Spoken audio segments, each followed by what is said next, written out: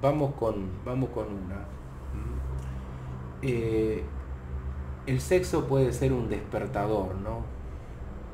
Esto es un tema que yo hablé bastante de una eh, persona que estuvo muchos años casada, ¿no? Y, un día el marido le dice, se terminó, me enamoré de otra mujer, te dejo. ¡Wow! ¡Qué situación, ¿no?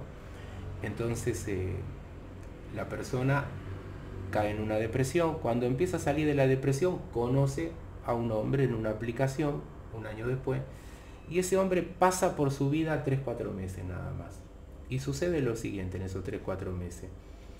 Eh, empieza otra vez a volver a sentir que ella puede seducir, que ella puede gustar, que puede conectarse íntimamente con otro hombre distinto al que fue su esposo durante tantos años. O sea, empieza a sentirse viva de nuevo.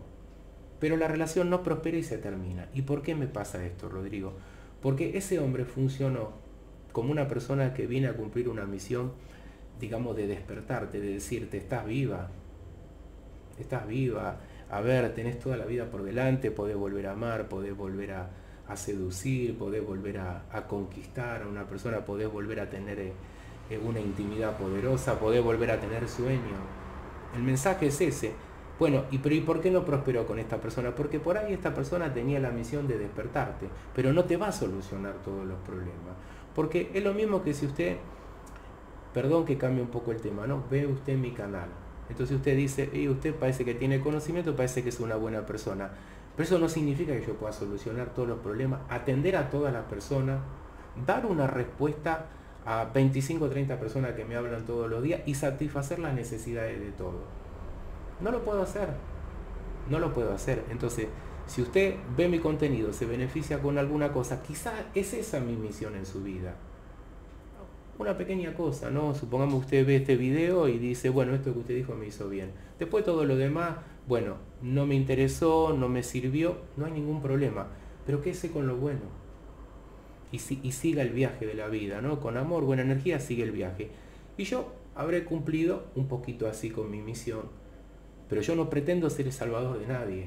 Por eso, no esperemos que venga un hombre, una mujer, un príncipe azul, una princesa rosa, después de una gran desilusión amorosa, y que sea tu salvador o tu salvadora. Puede que sea, puede que no sea. Si no lo es, al menos te permite un aprendizaje kármico, positivo, luminoso, que por supuesto puede ser que también tenga desilusión porque no prosperó la relación, pero la persona te llevó a la vida, te ayudó a llegar a, a la vida, a conectarte, a volver a vibrar bien, a desbloquear, por ejemplo, el primer chakra, que está muy conectado no solo el primero y el segundo a la conexión sexual, sino a la conexión con otras personas, a la confianza, a la madre tierra. Eh, entonces esa persona te hizo bien. Esa persona te hizo bien. No te solucionó todos los problemas, no te amó para toda la vida, pero te despertó. ¿Me entendés? Hizo una pequeña cosita para despertar. A veces los despertadores que tenemos pueden ser eh, porque a veces creemos que, únicamente con, algún contenido espiritual vamos a despertar. No, a veces simplemente relacionándose con una persona a través de la intimidad o simplemente de, lo sexual, podría ocurrir eso. De hecho, yo lo he visto varias veces en mi trabajo. Eh, y, y, por ahí es inesperado que pase eso. Pero basta con a veces eh, arriesgarse. ¿no? Porque si vos venís de una gran desilusión, conoces un, lindo hombre, una linda mujer, lo que sea que, que te guste a vos, ¿eh? lo que sea, es lo mismo. El amor es el amor. Y decís, no, pero, pero es que si me pasa lo mismo que con el anterior, Rodrigo, entonces, eh, no, entonces no, lo dejo pasar. Espero el otro. Pero ¿será que le voy a gustar yo? ¿Será que podré tener intimidad? ¿Será que puedo tener un orgasmo? Porque eso no me pasó más desde que me dejó mi marido o desde que me dejó mi mujer. Bueno, si estamos siempre postergando y no tomamos una decisión por miedo a equivocarnos, a que nos hieran, nunca vamos a avanzar. Hay que tomar una decisión y quizá esa persona te hace más bien del que vos te crees. Lo que pasa es que nosotros queremos pensar que una persona que se acerca a mi vida, a nuestra vida, nos tiene que solucionar todos los problemas, nos tiene que amar, nos tiene que conectar con, con la vida, nos tiene que hacer bien de acá hasta el último día de vida. Y no, no necesariamente. Pero si somos seres humanos, no necesariamente. Alguien pasa, hace algo bueno, agradecelo. La persona hizo algo muy bueno, te entusiasmó, bueno, después no pudo funcionar, fue una persona potente, bisagra, de transición.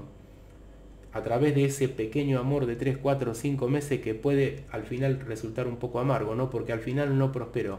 Pero ese pequeño amor te, te permite abrirte a otras experiencias en el futuro, te prepara para por ahí la llegada de, de sí un gran amor. Y quizás si ese gran amor que te toca vivir hoy llegaba, ni bien vos tenías la ruptura con tu pareja de tantos años, no te iba a funcionar. ¿Por qué? Porque por ahí no estabas preparada o no estabas preparado. Y esa preparación vos la hiciste, la aprendiste, la vibraste, la experienciaste con otra persona que atravesó unos meses. Entonces todo tiene un porqué para mí. ¿eh? Yo he visto muchas eh, personas. Yo tengo una amiga que se llama Laura, que es evidente que le ha pasado esto. Entonces, ella hace muchos años me explicó la manera de ver el asunto y ella, claro, yo no lo había pensado así hace muchos años. Entonces ella me dijo, son pequeños amores. La vida no te envía solo grandes amores de acá hasta el último día de vida. Porque esa es la expectativa que tenemos todo el tiempo. Y si una persona viene y no satisface con esa expectativa, pero nos hace bien, igual nos quedamos mal. No porque no fue para toda la vida, porque no hizo esto, porque no fue de esta manera. Bueno, fue lo que fue. Y ese fue lo que fue, que involucra experiencias muy bonitas, muy poderosas, y quizá otras experiencias que no están buenas, porque no, no digo que todo haya sido bueno. Bueno, son pequeños amores, son regalos de la vida, está dentro de los planes del alma, que te permite avanzar. Eh, te permite conocerte, te, permite volver a reconectar con la vida. Y esta amiga Laura, que ya es una persona que debe tener 70 y algo de años, volvió después a enamorarse. Y hasta el día de hoy, hace dos años que no hablo con ella en realidad, pero es mi amiga, eh, está casada, con hijos grandes, con tres hijos, tiene una vida hecha, se dedica a esto, de profesora de yoga también. Entonces eh, ella me explicó el concepto de que a veces los pequeños amores nos ayudan a evolucionar, que en todo no tiene por qué estar a la altura de nuestras expectativas. Por eso yo hago mi trabajo. Todos los días me encuentro, yo se los aseguro, ¿eh? al principio me frustraba, ahora no me frustro. Principio me frustraba. Uno habla todos los días con mucha gente que tiene mil expectativas sobre mí, pero no entiende que yo soy una persona.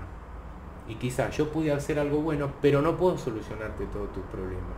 O por ahí no puedo ayudarte por H o por B porque trabajo con mucha gente, o por esto, o por lo otro, o porque no entendés lo que yo planteo, o por lo que sea. Entonces usted es malo.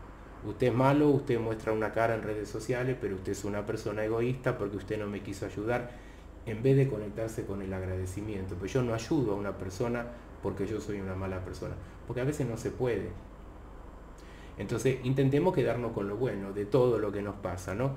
Entiendo, una persona pasó por tu vida, te hirió, te destruyó la vida. Bien, ¿qué cosa buena voy a encontrar? ¿Con qué cosa buena me voy a quedar? Claro, cuando estamos en el dolor y en el victimismo no vamos a encontrar nada bueno, es lógico.